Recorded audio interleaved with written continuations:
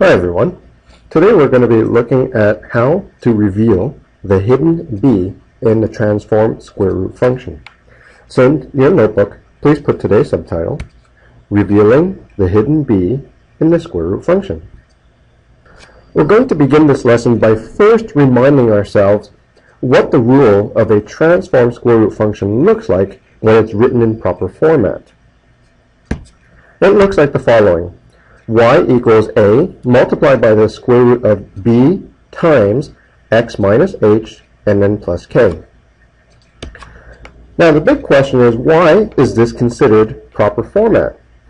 Well, it's considered proper format because of the fact that the coefficient in front of the x is a positive 1. So the next question that comes to your mind should be, what would the rule look like if it was not written in proper format? Well, here's a nice simple example. We have y equals 3 multiplied by the square root of 4x plus 8 and minus 5. You should notice immediately that this is not written in proper format because the coefficient on, in front of the x is not a 1. In this example, it's a 4.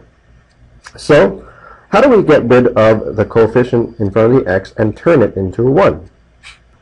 Well, the simplest way to get rid of that 4 is to apply our good old common factor technique to the expression 4x plus 8.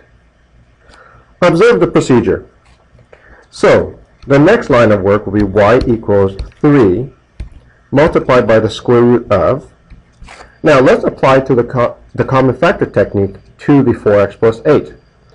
So we'll factor out the 4 and the result of the common factor technique is we have x plus 2, and then the minus 5 is never touched. Now, following the factoring procedure, you can already see that the true value of b is 4, and more importantly, the true value of h is actually negative 2.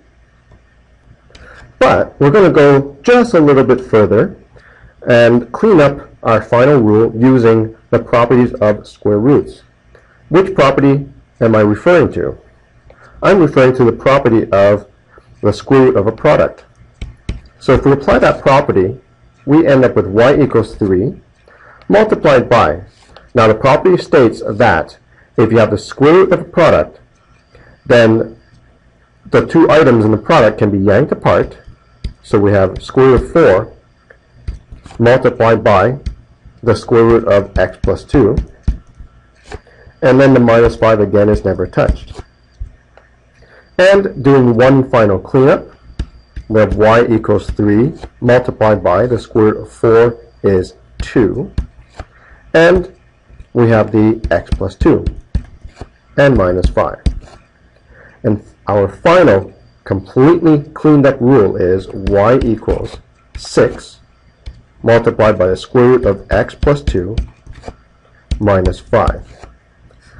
So what the cleaning up procedure did is not only did it take out the b value, it combined the b value with the a value. And that's perfectly allowable. Alright, I want you guys to try an example on your own. Suppose I give you the rule y equals negative 0.5 multiplied by the square root of 0.04x plus 8 and plus 2. This is not in proper format, so I want you to put it into proper format. Go ahead, pause the video, and try it now. Alright, let's see how you guys did. So first things first, I'm going to apply the common factor technique to the expression inside the radical. So the next step would be y equals negative 0.5 multiply the square root of here comes the common factor technique. So I'm going to factor out the 0.04. And the result from the common factor technique leaves behind an x plus 200. And the k value is never touched. Already you can see that the true b value is 0.04 and more importantly the true h value is a negative 200. But let's go one step further with a final cleanup. So y equals negative 0.5. Now apply the um, property of square root of a product. That will give us square root negative 0.04 multiplied by the square root of x plus 200 and the k value is never touched. One final cleanup, y equals negative 0.5 multiplied by the square root of 0.04 is 0.2 multiplied by the square root of x plus 200 and the k value is still never touched. And finally, that gives us y equals negative 0.1 multiplied by the square root of x plus 200 and then plus 2. Nicely cleaned up. Next, I would like to do another example that will produce a very interesting problem. Want you do this one. y equals 2 multiplied by square root of negative 9x plus 18 plus 6. Again, notice that this is not in proper format because the coefficient on the x is not a positive 1. So, let's apply the procedure like normal. y equals 2. I'm going to apply the common factor technique. So, inside the square root symbol, it will become negative 9 multiplied by x minus 2. And the k value is never touched. And then, to do our cleanup, we apply the pro uh, property of the square root of a product, which gives us the following y equals 2 multiplied by the square root of negative 9 multiplied by the square root of x minus 2 and then the k value of course is never touched. Well at this stage we're stuck in a cleanup procedure. Can you see exactly what's wrong with this picture? Well good for you if you realize that you cannot have the square root of a negative number. So we've got a problem right here. How do we solve it?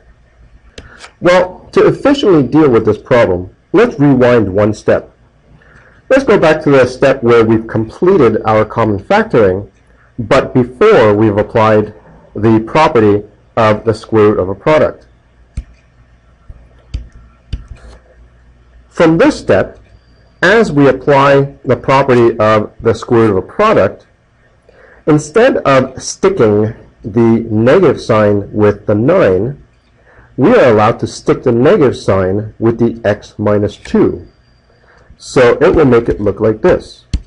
y equals 2 multiplied by positive 9. Notice that I did not stick the negative sign with the 9, but instead I'm going to stick the negative sign with the x minus 2. And yes, the x minus 2 does need to be in the bracket. And then the k value remains untouched. Now we have bypassed the problem. And to finish our final cleanup, we have 2 multiplied by the square root of positive 9 is 3 and multiplied by the square root of negative of x minus 2 plus 6. And finally, we get y equals 6 times the square root of negative x minus 2 and n plus 6. Notice that now we can clearly see that the b value is in fact negative. Why don't you try one of these tricky situations on your own? Example, y equals negative 2 multiplied by the square root of negative 4x minus 12 plus 3. Go ahead, pause the video and try it on your own. Alright, let's see how you guys did. So first things first, I'm going to apply my common factor technique like usual. So that'll give me negative 2 multiplied by the square root of negative 4 times x plus 3 and plus 3.